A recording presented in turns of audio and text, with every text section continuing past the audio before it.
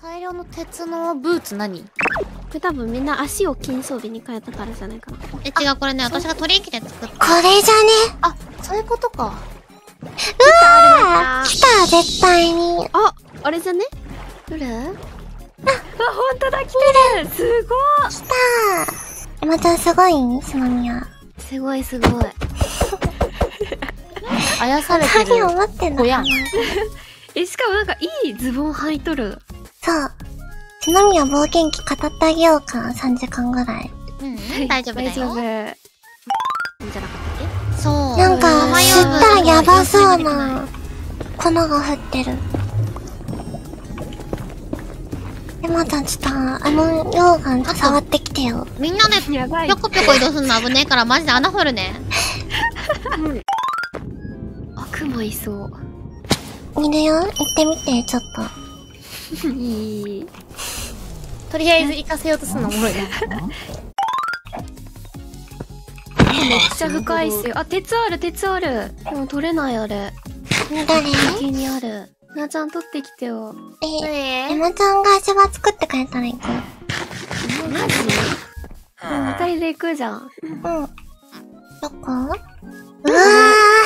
見える？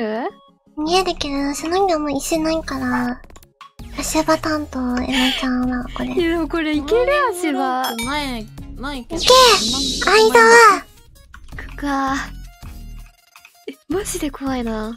だけ3歩ぐらい離れていくから、頼む。え？押さない、押さないように、押さないようにするから。オッ後ろにいてほしい、後ろにいてほしい。ケーオッケーオッケーもう。オッケーオッケー。篠宮が掘ったとこからね。